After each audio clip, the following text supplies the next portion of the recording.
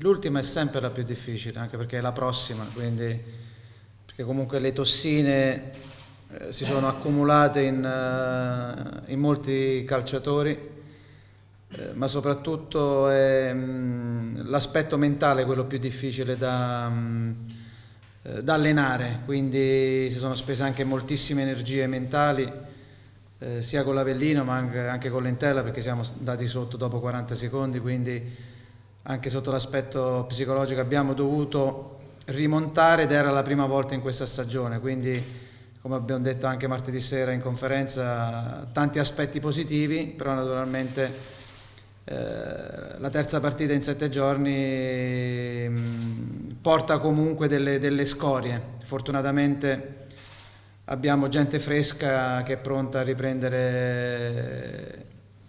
posto in mezzo al campo, e visto un po' eh, il turnover di, di, martedì e questo mi permette di, di, far rifiatare qualcuno e chi invece ha riposato martedì di essere pronto per la sfida di domani. No, eh, ragiono da, da, chi vive in questo mondo da una vita, per esperienza. Ripeto, tre partite in una settimana non sono poche, eh, c'è tanto dispendio eh, energetico, fisico, eh, ci sono viaggi, trasferimenti eh, e quindi anche sotto l'aspetto mentale questo eh, lo si paga, ma come lo possiamo pagare noi lo pagano anche gli altri, quindi sotto questo aspetto siamo, siamo, sullo stesso livello. Eh, credo che noi rispetto alle altre abbiamo un piccolo vantaggio di avere comunque un organico che mi ha permesso di far riposare qualcuno e quindi domani ce l'abbiamo sicuramente più riposato sotto l'aspetto almeno, almeno, fisico. Sì, sicuramente eh, andiamo ad affrontare una squadra che la potrei definire di prima fascia, eh, una squadra ben costruita, eh, ottimamente allenata da Giuliano che quando l'ha presa in mano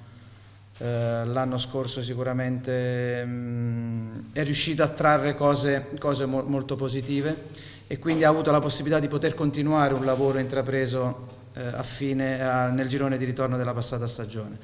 Ha degli elementi di qualità e di grande esperienza, eh, Oliveira su tutti, Della Fiore, Esposito,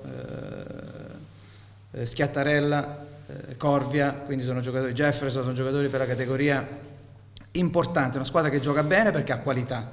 ha un'ottima organizzazione di gioco, eh, ha cambiato un po'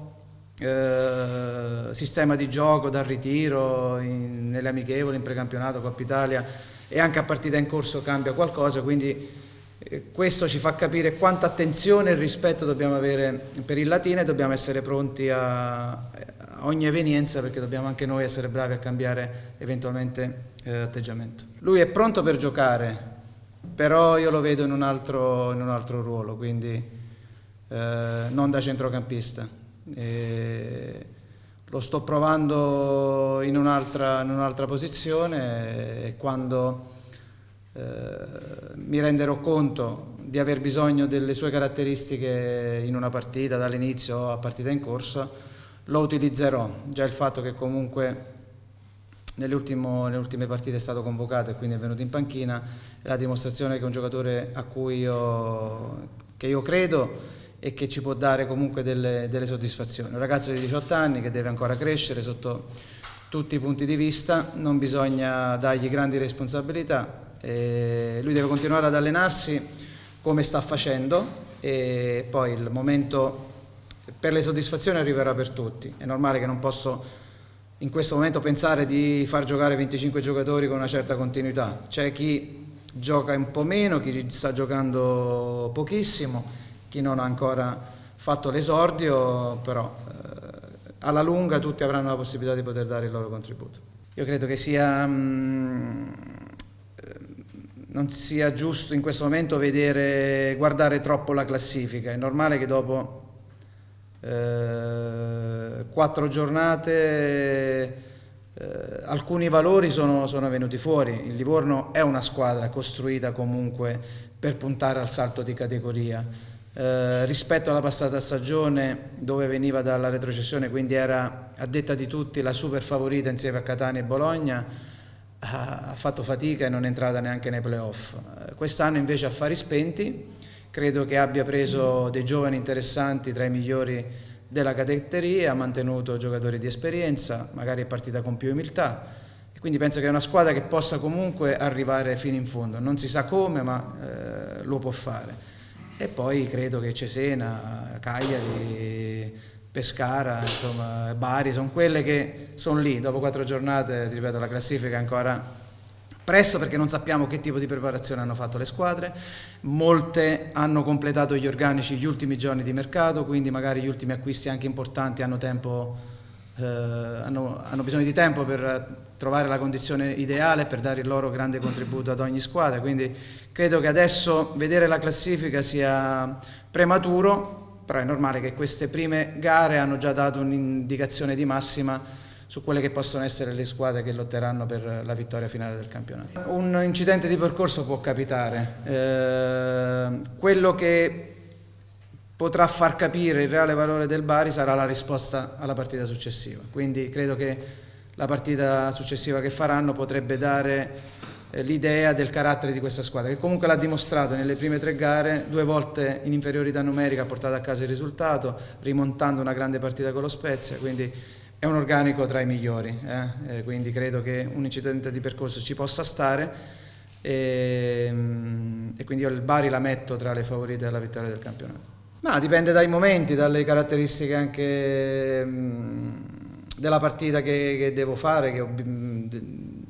anche del tipo di avversario che magari si può trovare in quella zona di campo. Eh, è normale che Balzano e Pisacano sono due giocatori di grandissima affidabilità, di grande esperienza e che sono sicuro che il loro rendimento sarà sempre ottimale. Eh, però è anche vero che abbiamo due giocatori col piede naturale che hanno grande spinta, hanno un, sicuramente sotto l'aspetto eh, della propositività offensiva ci possono dare quel qualcosa in più e quindi in base anche, ripeto, al tipo di, di partita che, mm, che, andiamo a preparare faccio, faccio le scelte. L'unico in questo momento che non ha avuto spazio è Barrega perché comunque eh,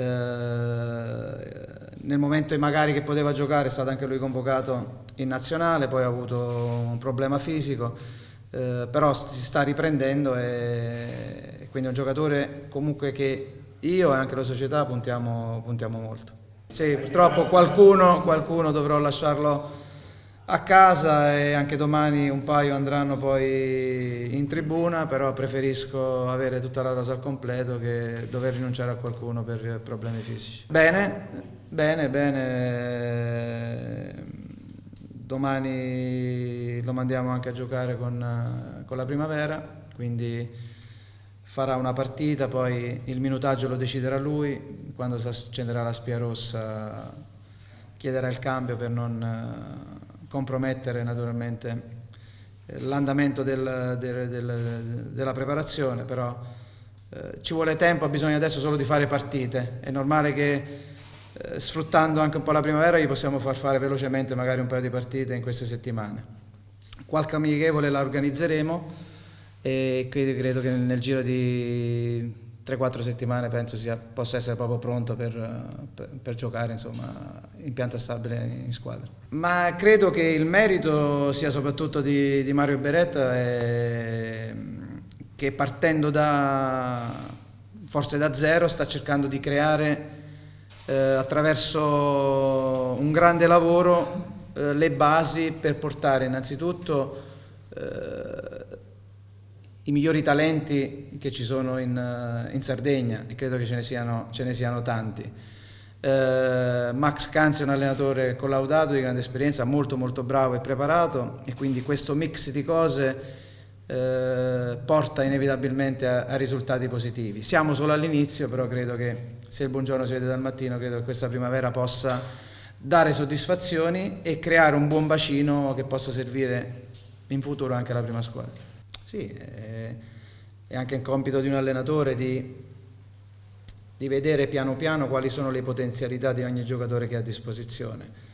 È normale che più passano, passano, i giorni, le giornate, le partite, avrò, trarrò sempre maggiori considerazioni e, e, e indicazioni. E naturalmente il ruolo di mezzala è il suo ruolo naturale. Eh, avevamo fatto un discorso all'inizio, naturalmente ho voluto anche valutare personalmente eh, Joao che tipo di giocatore fosse, perché tranne qualche spezzone visto distrattamente in televisione l'anno scorso era un giocatore che non, che non conoscevo, quindi abbiamo optato inizialmente per un tipo di, di collocazione, invece poi mi sono reso conto, soprattutto per, il, per quello che cerco io da una, da una mezzala, eh, corrispondevano precisamente alle caratteristiche di Joao, nonostante De Iola abbia fatto molto molto bene, però è normale che con Joao acquisisci maggiore esperienza e, e maggiore qualità e, e quindi vedo che eh, si trovano bene, si conoscono comunque soprattutto i quattro là davanti, c'è tanta qualità e per vincere le partite ci vuole la qualità.